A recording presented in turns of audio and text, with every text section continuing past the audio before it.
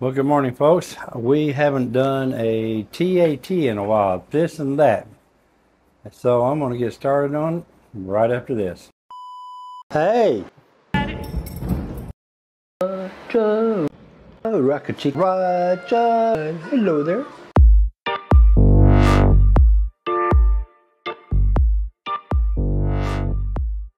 So I got a few things I want to talk to you about today, okay? We talked about I, haven't done a TAT in a while. I don't remember what the number of was the what the number was of the last one. Um, but who cares? I, I have a friend that came to town last week or a week before last, and he wanted to buy a motorcycle. So I took him to a local shop here that's here in Manta. Um, here's the pictures from it. You can see here. They, the main bike they sell is the Royal Enfield, which I think is a really cool little motorcycle. It's made in India.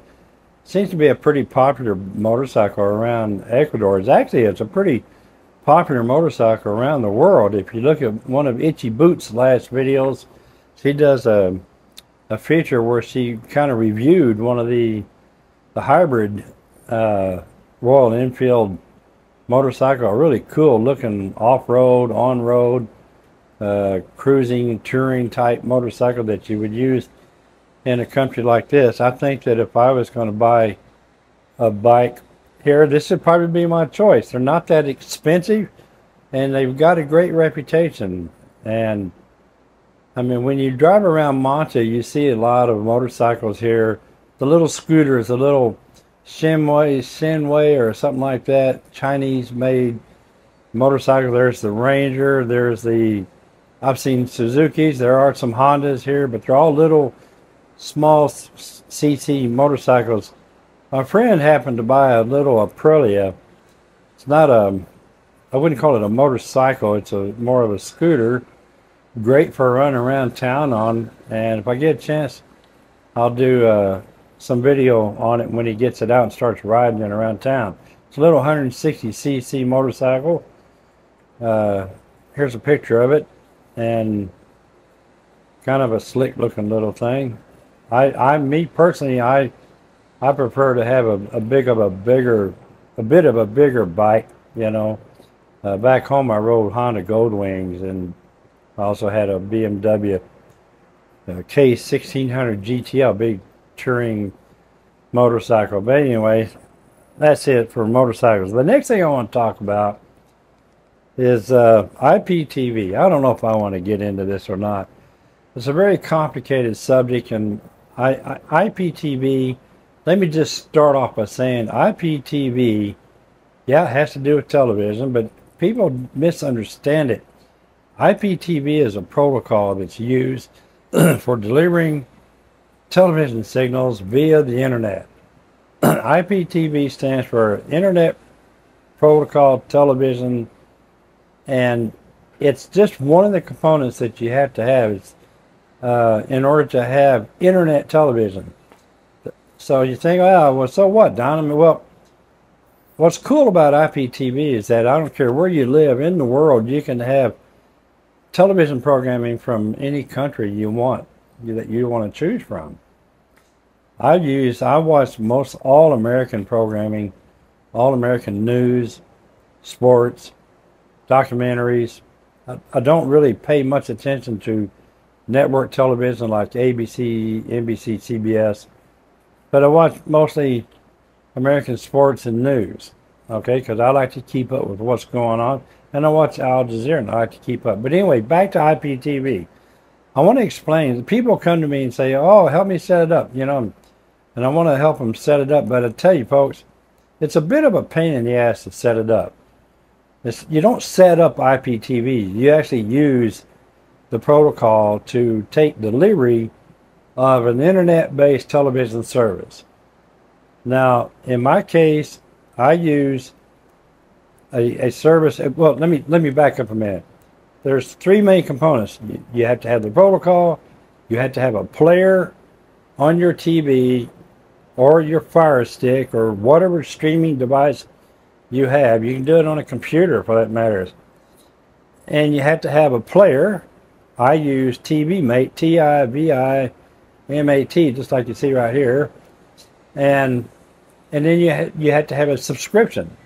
Okay, and that's your playlist. That's called a playlist, and so and you have to subscribe to it. And there's here's just a small list of them right here that I found just doing a simple Google search to see what's available out there. I have a service that I use that one of my subscribers uh, has gifted to me. As long as he's got it, I guess I have it, and I'm thankful for that. I appreciate him for that. He he has he's able to share his connection with me. A lot of the IPTV services that are available today, they claim they won't let you share your service.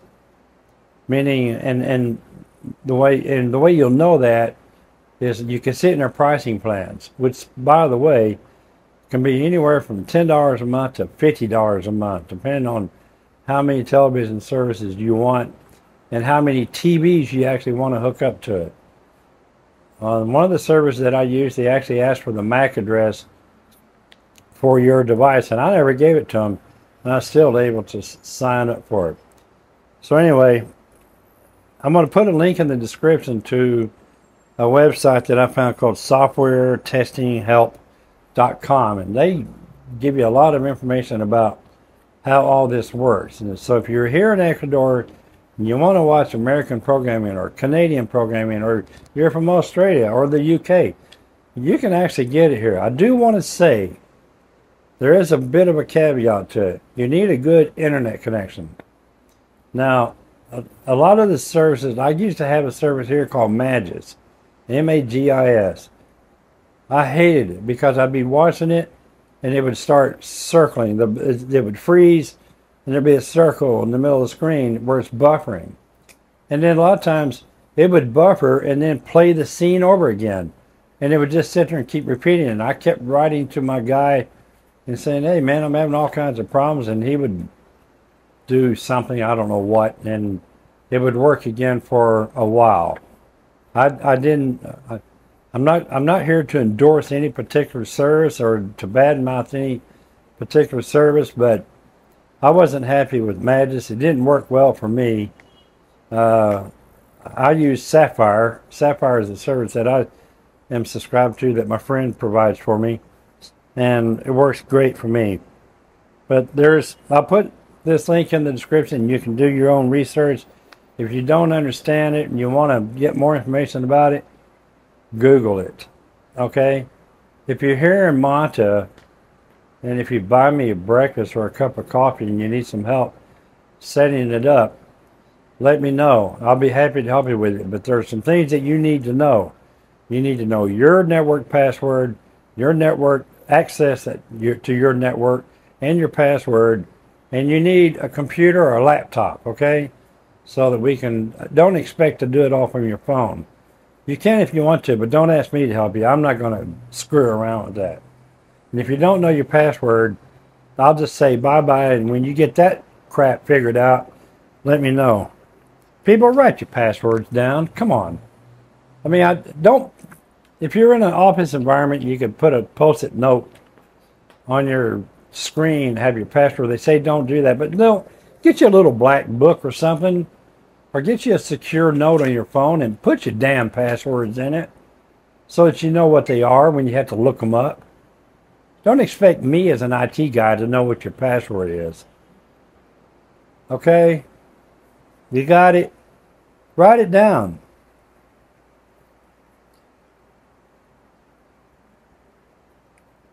I wrote in my notes here more on culture. I think I've said enough about culture.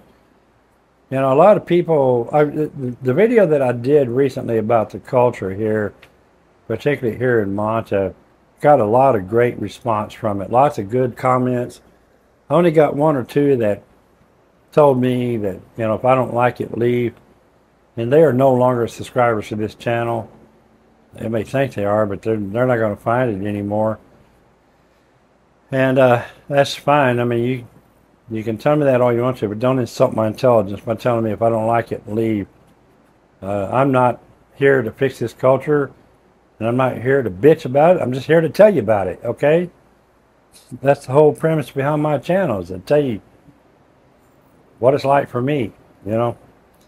Uh, but I thank you for the comments. I got several interesting comments from people, both Ecuadorians and North Americans, about the culture. And if I would encourage you, if you want to know more about the culture here, go through and read some of the comments, okay? And you'll you'll find out some stuff. Sex perverts in Ecuador. Sex perverts, guys, single guys, get the hell out of here. Don't come here thinking that every young Ecuadorian woman you see is going to lay down and spread her legs open for you because you got a little bit of cash. You know, I'm sick of hearing about this. And I keep meeting these assholes that want to, they, I don't know, why do they seek me out? You know, if you're a pervert and you want to come to Ecuador and chase young women, that's your business, but keep it to yourself. And if you come here and you meet a young Ecuadorian woman and you knock her up and get her pregnant, you're not going to have a good life, in my opinion, especially if she's young. I'm talking about you guys that are in your 60s and 70s and want to come here and find a 30 year old girl. You know, that's your business. You do that. But don't bring it to me. Don't introduce yourself to me. And for everybody that wants to know, if you're a single guy and you come to Ecuador, do me a favor. Don't ask me to meet you for a cup of coffee. Because I've met too many of these creepos that are single guys that are coming here to this country for one purpose, and that's sex tourism. I don't want to meet you. I don't want to meet you. One of the first guys that I met, I asked him what was his business in Ecuador, and he picks up his phone and tells me, Well, I'm a pervert. Guy was 77 years old from Pennsylvania. And he telling me he's a pervert, and he starts showing me pictures of women that he's been with in the different bordellos throughout the country. That's about all I'm going to say about that. Uh, matriculation. My good friend Ace Maldonado GM Ace. Right, here's a link to him right here. Uh, I'll put some more information in the, in the description. Good friend of mine lives in Puerto Viejo. He's also a YouTube influencer with a very fast growing channel. He's a young man. He's in his 30s, mid 30s, smart, educated. Uh, lived in the United States most of his life, and now he's here, and he's has a pretty good channel. And he decided to do a video about the matriculation process. That's the process of getting your car registered. For those of you that are interested in owning a car here, you're going to need to know this process. Let me tell you something, folks. We use me as a model, my car as a model, to go through this process. And here's a link to the video right here, and I'll put it in the description as well.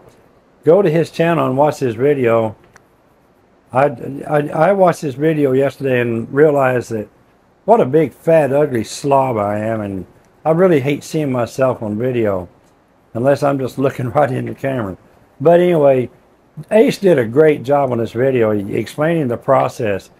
I want you to know it's in the United States, at least in Arizona, when you go to get your car inspected for your license plate, it's a matter of driving into a drive-through they stick a probe up your uh, exhaust pipe, tell you to start the engine, and you know, they hook a couple things up under the hood, and basically all they're doing is checking your emission for impurities or whatever.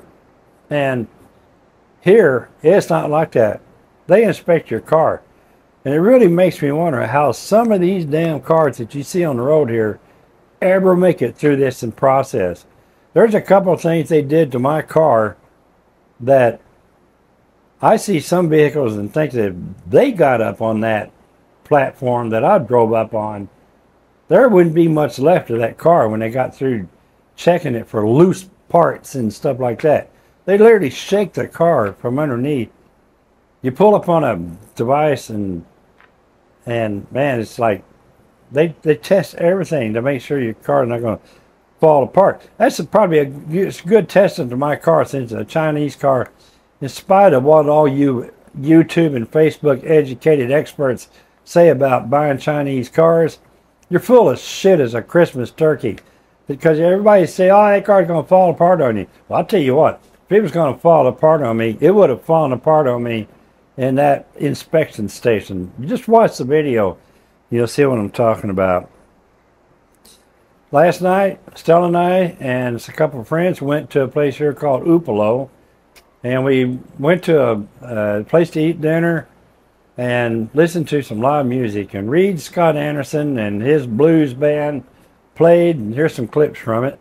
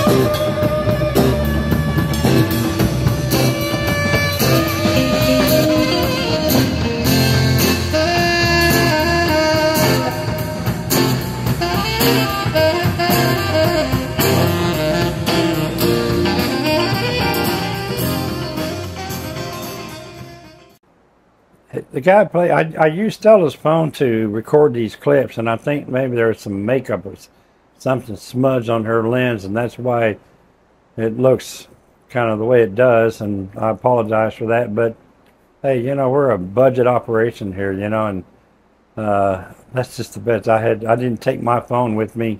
Stella took hers, and I used hers to record them. But uh, Reed is a great musician, a guitar player, and he's got uh, a couple of great bass player, good drummer, a couple of saxophone players, and one of the saxophone players that's that's featured in my Meeting Your Neighbors Doc Holiday video, Alex, he plays the saxophone and the keyboard, and he plays them both at the same time sometimes.